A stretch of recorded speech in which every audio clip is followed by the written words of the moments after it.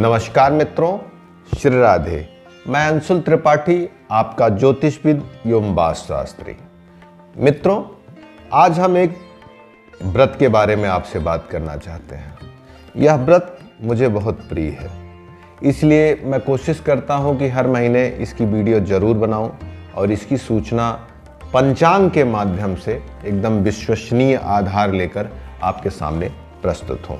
तो आप ज़्यादा समय ना लेते हुए माघ शुक्ल पक्ष की एकादशी के बारे में हम आपसे बात करना चाहते हैं। अंग्रेज़ी महीने के अनुसार यह फरवरी माह में पड़ने वाली एकादशी है और माघ शुक्ल पक्ष की एकादशी की अगर बात की जाए तो मंगलवार दिन होगा, एकादशी की तिथि होगी। अंग्रेज़ी डेट के अनुसार 23 फरवरी 23 फरवरी 2021 इस दिन दिन मंगलवार होगा और यह जया एकादशी के नाम से जानी जाती है।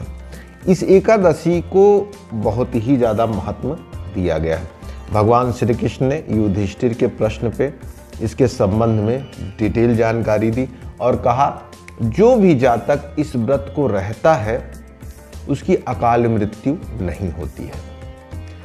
उसके जीवन में दुर्भाग्य नहीं आता है।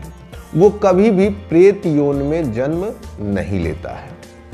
हमारे यहाँ व्रतों को स्पेशलाइज करने का जो तरीका है, वो एक सूचना रूप में दिया जाता है।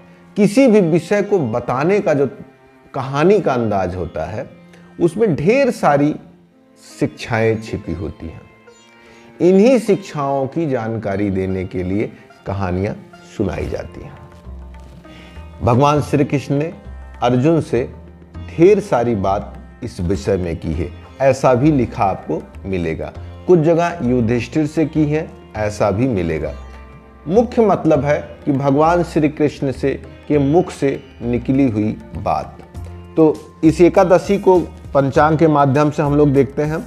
आद्रा नक्षत्र है सूर्योदय काल में, और जो सुबह आठ बज के चौवालीस मिनट तक है, आयुष्मान योग है।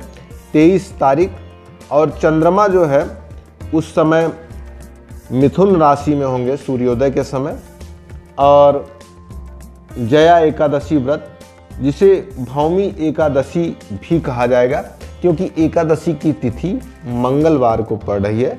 अतः इस दिन जो लोग व्रत रखेंगे, उनको मंगलवार के व्रत का भी लाभ मिलेगा।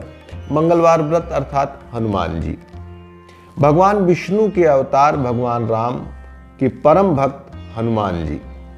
तो जो लोग शनि से प्रभावित हैं, जिनकी कुंडली में मंगल अच्छा नहीं है, जिनको गाड़ी, घर या कर्ज से दिक्कत हो, वो लोग भी यह एकादशी व्रत रखें, उनके लिए बहुत श्रेष्ठ होगा। माघ का महीना हमने पहले भी बताया कि यह बड़ा शुभ महीना होता है। इस महीने में आप जब नदी में स्नान करते हैं खास तौर से गंगा नदी, वो भी प्रयाग में तो आपको बहुत ही ज़्यादा पुण्य की प्राप्ति होती है। यह एकादशी इन अर्थों में भी बड़ा महत्व रखती है अपने आप में। और फिर से आपको एक बार हम पूरा पंचांग बता देते हैं। माघ शुक्ल पक्ष और अंग्रेज़ी के अनुसार लगभग फरवरी का महीना। और अंग्रेज़ी तिथि के अनुसार 23 फरवरी 2021 मंगलवार को दिन है और एकादशी तिथि। और यहाँ पे एक बहुत बड़ा प्रश्न रहता है कि क्या जया एकादशी सबके लिए है? जी बिल्कुल, यह सबके लिए है। अस्मारता नाम वाली जो समस्या रहती है कि दो दिन एकादशी है, वो दिक्कत अब की बार नहीं है। और अगले दिन बुधवार को सूर्योदय के बाद आप 24 तारीख को पारण कर सकते हैं। किसी एक अनाज से, जौ या किसी चीज़ से आप अनाज एक बार खा के आप पारण कर सकते हैं। वो भी विधि विधान से भगवान की पूजा करने के बाद। एकादशी के जितने भी व्रत होते हैं, विष्णु जी के किसी न किसी रूप की पूजा होती है। इसी दिन भगवान का चिंतन करना, भगवान की कहानी सुनना, भगवान के बारे में बातचीत करना, यह श्रेष्ठ होता है। ऐसे तो नमक का निषेध नहीं होता है, लेकिन अगर आप नमक न खाएँ तो श्रेष्ठ होगा। एकादशी व्रत की कहानी के संबंध में भी हम वीडियो बनाएँगे, क्योंकि हमसे कई दर्शकों ने फ़ोन करके स्पेशली कहा कि कहानी की वीडियो ज़रूर बनाया करिए। कम ही लोग देखते हैं, लेकिन कुछ लोग ज़रूर देखते हैं। और कहानी सुनी जाए यह विशेष है, क्योंकि कहानी सुनने का अपना एक महत्व है। तो इसी के साथ दोस्तों, हम अपनी वीडियो को विराम देते हैं। धन्यवाद, श्री राधे। उम्मीद करती हूँ आपको वीडियो पसंद आया होगा। तो इसे लाइक करना ना भूलें। ज्योतिष और पंचांग से जुड़ी जानकारी हम आपके लिए लाते रहेंगे। तो आपके अपने YouTube चैनल ज्योतिष पंचांग को सब्सक्राइब करें और बेल आइकन ज़रूर प्रेस करें ताकि आपको लेटेस्ट वीडियो की नोटिफिकेशन लगातार मिलती रहे।